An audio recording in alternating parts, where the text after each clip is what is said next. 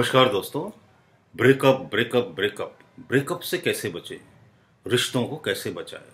बहुत सारे लोग मुझे फ़ोन करते हैं, हमारा ब्रेकअप हो गया, हमारे रिलेशंस ख़राब हो रहे हैं। क्या करें, कैसे करें, कैसे हम अपने बेशकीमती रिश्तों को बचा लें? ये वीडियो मैं उसी सिलसिले में बना रहा हूँ। ऐसे बहुत सारे वीडियो बनाऊँगा जिससे आप अपने रिलेशंस को बहुत अच्छी तरह से प्रोटेक्ट कर सकते हैं और बचा सकते हैं। कभी आपने सोचा कि ये रिश्ते क्यों टूटते हैं? इसका एक बहुत छोटा सा कारण होता है। और वो होता है हमारा ईगो। हम कभी भी किसी के भी सामने झुकना नहीं चाहते। अब देखो ये जो बड़े बड़े ब्रेकअप्स हो जाते हैं ना, जिनमें बहुत बड़ा बड़ा गैप आ जाता है। इनके रीजंस को सर्च करोगे ना तो बहुत छोटे छोटे रीजंस होते हैं। अभी बढ़ते क्यों चले जाते हैं? मैं क्यों झुकूं? मैं आगे बढ़ के उससे फ़ोन क्यों करूँ? फिर ईगो के पीछे ईगो की और लंबी लंबी मज़बूत मज़बूत दीवारें खड़ी होती चली जाती हैं। फिर किसी के कहने पर आप फ़ोन भी करते हो तो सामने वाले का ईगो आता है किसे और झुकना चाहिए। फिर ईगो से ईगो टकराते हैं। और अहंकार किसी का भी हो, चाहे वो मेरा हो, चाहे वो आपका हो, चाहे वो रावण का हो, चाहे वो सिकंदर का हो, टूटता तो ज़रूर है। क्योंकि अहंकार ना टूटे ना तो कोई भगवान को भी नहीं मानेगा। तो अगर आप रिश्तों को बचाना चाहते हो तो आपको क्या करना पड़ेगा? अहंकार को तोड़ना पड़ेगा। अगर आप अपने अहंकार को खुद ही तोड़ना सीख गए तो आप समझ लो अब ज़िंदगी में रिश्ते बचाने की सारी कारीगरी, सब कीमिया सीख गए जब कोई दो लोगों में ब्रेकअप हो जाता है रिलेशन टूट जाते हैं ना तो वो क्या करते हैं? दूसरे का वेट करते हैं। अब उसे कॉल करना चाहिए, उसे फ़ोन करना चाहिए। उसने बात क्यों करी? ऐसा क्यों बोला उसने मुझे? उसे ऐसा नहीं बोलना चाहिए था। और जो सिचुएशन आपकी ना, ठीक वही सिचुएशन उस पर्सन की है जिससे आपका ब्रेकअप हो गया रिलेशन टूट गए। वो भी यही सोच रहा कि उसने ऐसा क्यों बोला? उसे ऐसा नहीं बोलना चाहिए था। वो फ़ोन क्यों नहीं करता? वो आगे बढ़ के सॉरी क्यों नहीं बोलता? ईगो टकरा रहे हैं आपस में। और ये ईगो क्या करेंगे? ये ईगो हमारी ज़िंदगी के साथ खत्म होते हैं। इस दुनिया में सभी झगड़ों की मूल वजह बहुत गहरे में आप देखोगे ना तो अहंकार ही होती है।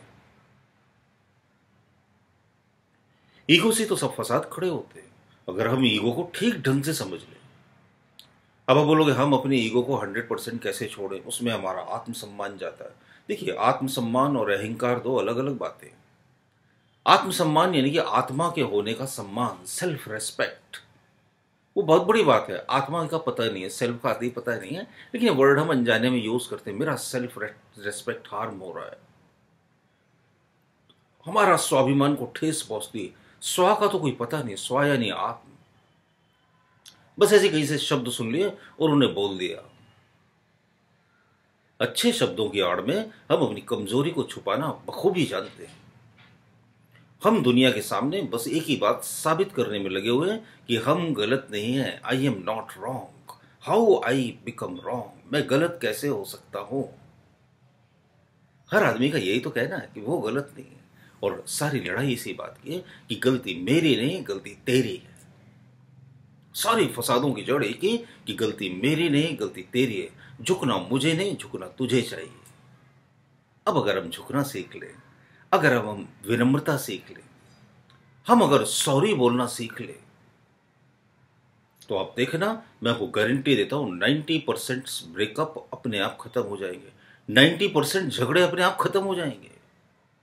अगर हम झुकना सीख लें।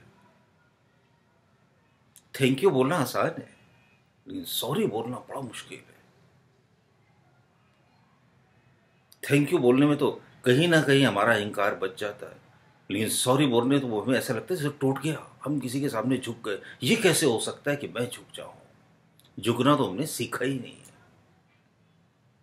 खड़े रहते हैं खजूर के पेड़ की तरह, लंबे, ऊँचे। किसी काम के नहीं, खजूर के पेड़, किसी को छाया नहीं दे सकते। उसका फल कोई खा नहीं सकता। वो कबीर ने कहा ना कि बड़ा हुआ तो क्या हुआ? जैसे पेड़ खजूर, पंछी को छाया नहीं, फल लागे अति दूर। पंथी को छाया नहीं मिलती। फल इतनी दूर है कोई छो भी नहीं सकता। इतना बड़ा अहंकार लेकर ज़िंदगी में घूमोगे तो फिर कौन आपके नज़दीक आएगा? कौन आपके करीब आएगा? ब्रेकअप की सबसे बड़ी मूल वजह है अहंकार। अब ये अहंकार नए नए कलर्स लेकर हम डिज़ाइन करते हैं। तरह तरह के अहंकार है ये। उसने मुझे समय पर चाय क्यों नहीं दी? उसने दूसरे के साथ बात क्यों करी? एक तो हमारा क्या विश्वास भी नहीं रहता एक दूसरे के ऊपर। विश्वास की तो बहुत ज़्यादा कमी है रिश्तों में। जिन रिश्तों में विश्वास ही नहीं, विश्वास की डोर तो है जो रिश्तों को एक दूसरे से मजबूती से बांधे रहती है। तो सबसे पहले तो विश्वास पैदा करना शुरू करो। और विश्वास पैदा करने के लिए आत्मविश्वास पैदा करना शुरू करो। जिसको आत्मविश्वास नहीं, वो दूसरे का विश्वास कैसे हासिल कर पाएगा? तो आत्मविश्वास को कैसे बढ़ाएँ, कैसे पैदा करें, ये सीखो, प्लस झुकना सीखो, सॉरी बोलना सीखो। जैसे ही आपको अपनी गलती का एहसास हो जाए, तुरंत सॉरी बोलो, मुझसे मिस्टेक हो गई। मेरे आसपास तमाम ऐसे लोग हैं, जो बड़े बेहतरीन लोग हैं, उनसे मैंने बहुत सीखा। वो फटाक से सॉरी बोलते अरे सॉरी, गलती हो गई।